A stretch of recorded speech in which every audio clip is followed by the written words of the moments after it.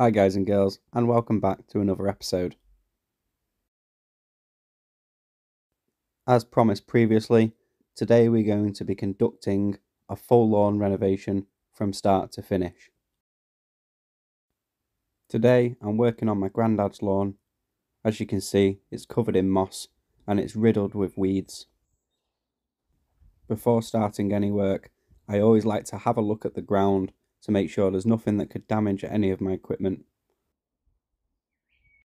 I'm going to start by removing any weeds with my Fiskars Xact removal tool.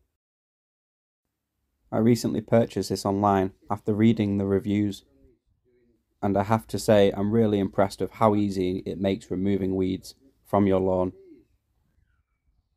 What usually would have took me hours to complete took me no longer than 20 minutes to do the whole lawn.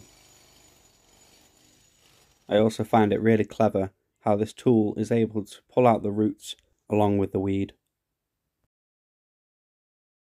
After I'm happy with the amount of weeds I've removed, I'm then going to run my scarifier over the lawn.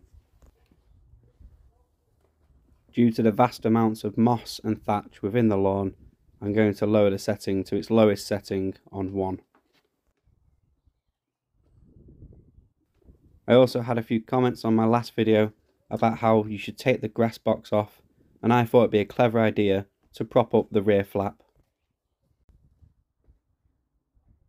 However, after just doing one pass, I quickly got covered in moss, dirt, mud and whatever else was within the lawn.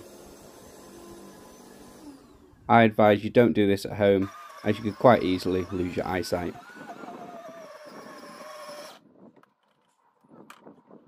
All I'm going to do now is just work my way through the lawn, identifying any spots that are quite thick with moss or thatch.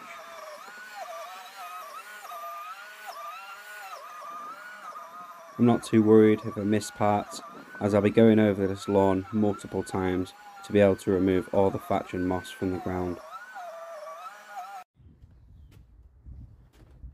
I found that every couple of metres I was having to stop and tilt the scarifier forward to allow for the thatch and moss to come through the back. Cleanup was also pretty easy. I brushed any mess made back onto the grass and then just raked it all into the centre. For this I just used a light adjustable garden rake which managed to pull all the thatch in but don't worry if you can't get it all as at the end we'll be going over with a mower anyway. Once I've raked up all the thatch, I'm then just going to carry on making multiple passes with my scarifier. Again, I did this on setting 1 as I wanted to rip out as much moss and thatch as possible as I was reseeding this lawn after finishing.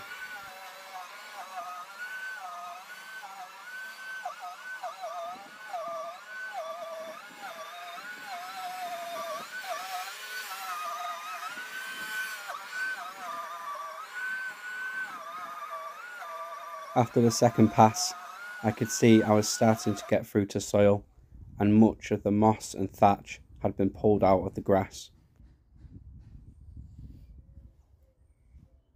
If you're new to scarification, first time doing this, it's going to look very unsightly and look like it's a lot of mess. However, overall, it's definitely worth it as it's going to allow your grass to grow better throughout the summer months. If you are going to conduct a deep scarify, it's well worth overseeding afterwards and covering with some topsoil.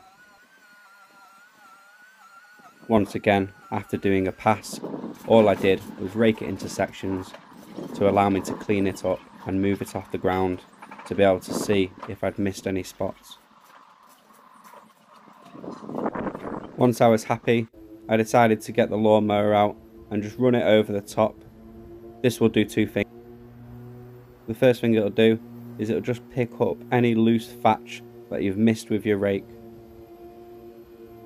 The second thing it'll do is if you have any POA annua, it's most likely sticking up now due to the scarification and this is just going to allow you to trim that back. As talked about previously, Some people don't like this meadow weed grass, however, I've learned to live with it, as it seems I take it out every year and yet it comes back. Once I had finished the mow, I then identified some areas that still were thick with moss.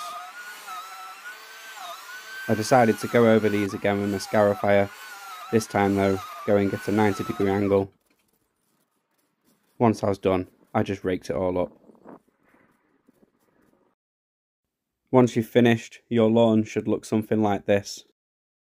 I get that this can look worrying as it looks really muddy and patchy, however this is exactly what we wanted. Next all I'm going to do is lay down some bags of topsoil. I'm using the brand from Wickes as I've heard really good stuff about it and overall I was quite impressed with the quality of the soil. All I'm then going to do is rake it out nice and level, ensuring that I fill any shallow spots and divots. All I'm now going to do is lay down the lawn seed. Don't be worried about getting it too even, as we will be raking this in afterwards to allow for a more even spread. For today's video, I'm going to be using Gro-Sure once again, as I've had such good results with it in my front garden back at home. I found applying this seed relatively easy. However, ensure you do it on a wind-free day as there were certain spots in this video where I thought the seed was going to blow around the garden. I also like to break the area down into segments as to not walk over the seed and tread it around the garden where you don't want it to grow. I'd also quickly like to point out that I thought this design was really clever as it made it easy to spread the seed once your seed's down, it should look something like this. Again, by raking it through in segments, it's going to allow for a nice even spread. If you have any seed left over, place it into a Tupperware box and you can use this later to fill gaps. Once I was happy with the seed dispersion, I then laid a fleece over the top, which I picked up relatively cheap from my local garden centre. And for a final tip, I then decided to go over the new sown lawn with some liquid seaweed.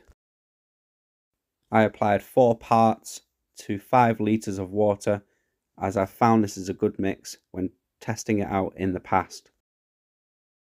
And that's it really guys.